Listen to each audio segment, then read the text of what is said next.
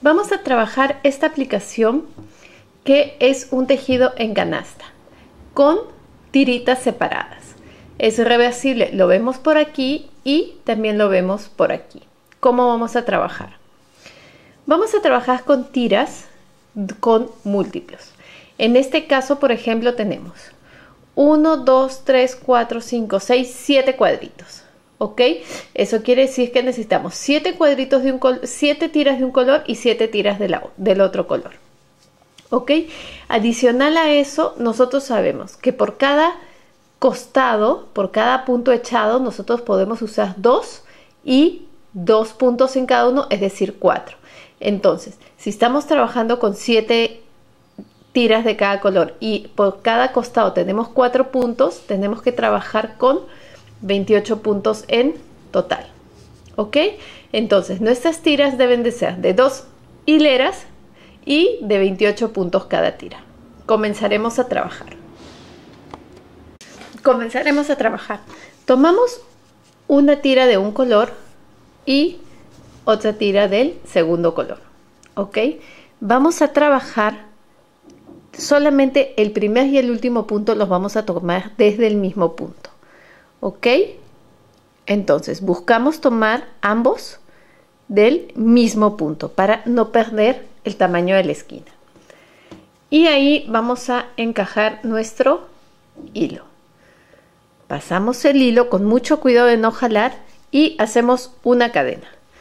Soltamos el hilo del otro lado y comenzamos. En el mismo espacio vamos a hacer un medio punto hacemos un medio punto luego dentro del punto entero echado y dentro del segundo punto de la que está atrás.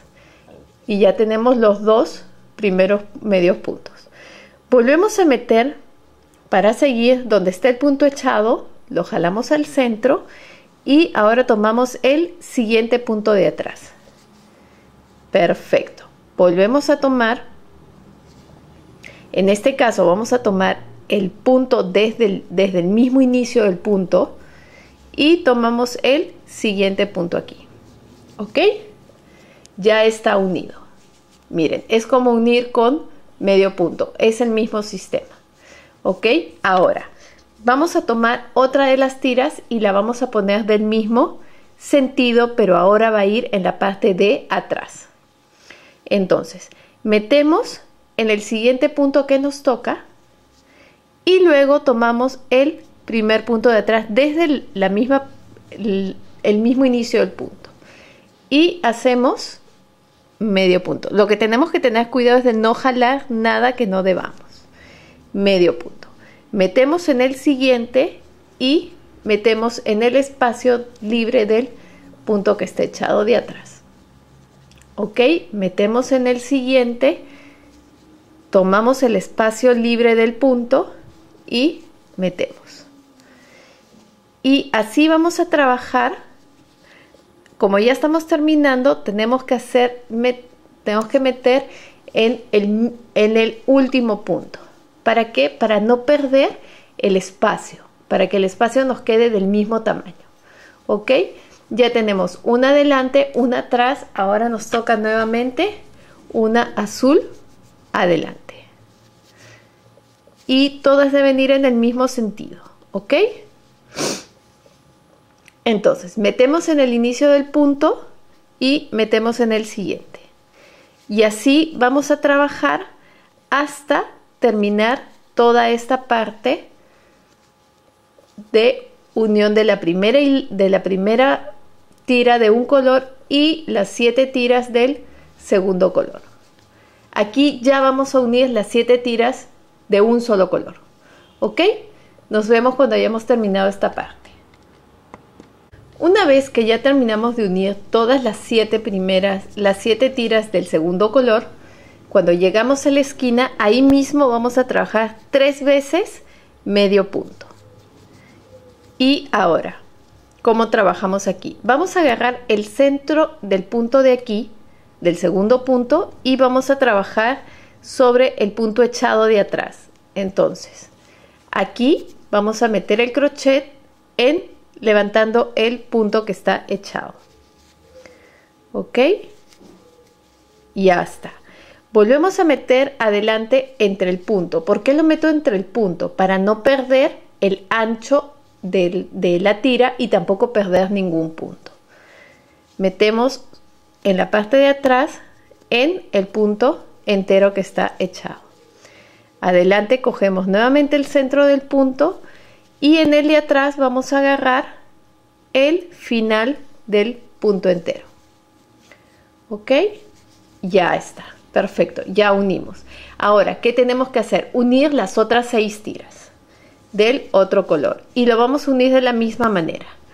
Una queda abajo, otra queda arriba. Una queda abajo, otra queda arriba.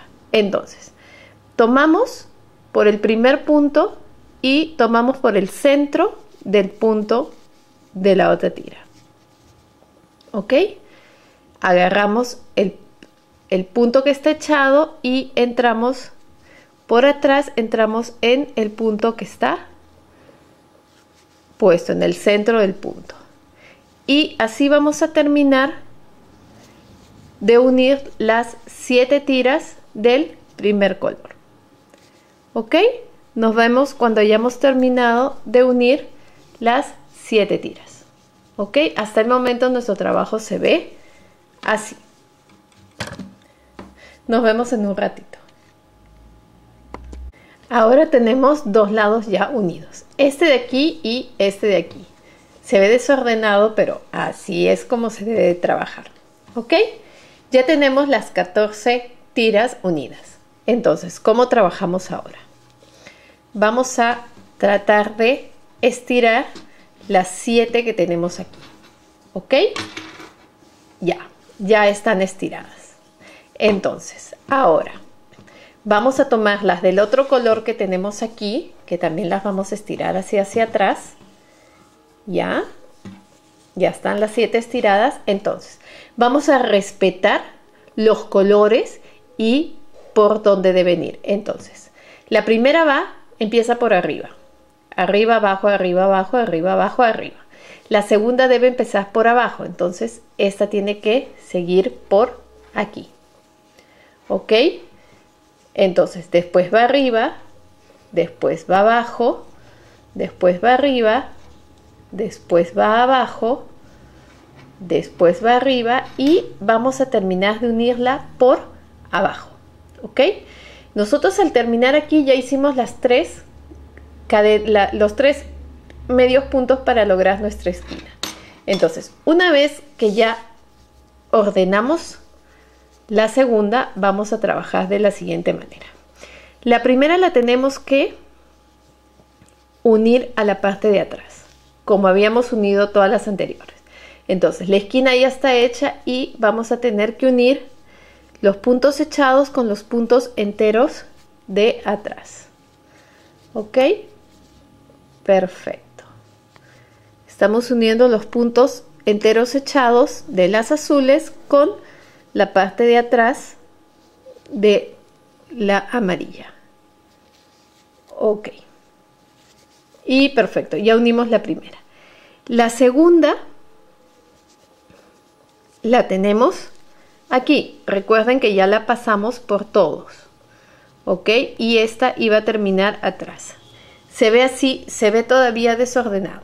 No hay ningún problema. ¿Ok? Entonces, vamos a trabajarla por detrás. Cogemos primero el amarillo y después cogemos el azul. Si ustedes desean, pueden irlos uniendo con imperdibles para que les sea más sencillo el trabajo. Ahora les voy a explicar cómo. ¿Ok? Y seguimos. Unimos el de adelante con el de atrás. Unimos el de adelante con el de atrás. Perfecto. Ya unimos dos. ¿Ok? Entonces, Ahora, volvemos a estirar todo porque hasta que no estén todas unidas se va a seguir desordenando. ¿Ok? Volvemos a estirar todo. Agarramos la tercera azul que viene por arriba y la pasamos. Arriba, abajo. ¿Ok? Arriba, abajo.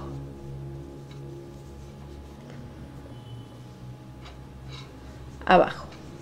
¿Ok? Bajamos esta, esta va por encima y después ponemos la amarilla por abajo y ahora va a ir por encima. ¿Ok? Tenemos que fijarnos que todas queden planitas y no se nos vayan a doblar. Ahora, esta por dónde viene por encima y la tenemos que unir aquí. Y así vamos a unir todas las tiras hasta llegar a unir las 7. Nos vemos cuando hayamos unido ya las 7 azules al lado de aquí. Cuando ya unimos tres lados, esto es lo que vamos a tener ahora. ¿Ok? Y los cuadros se van a ir acomodando según nosotros vayamos uniendo. Lo que nos queda unir es ya los amarillos a la última tira del azul. Lo vamos a unir de la misma manera para que al final tengamos este resultado. Después metemos los hilos y terminando esta labor. Espero que les haya gustado y nos vemos pronto. Disfruten tejiendo.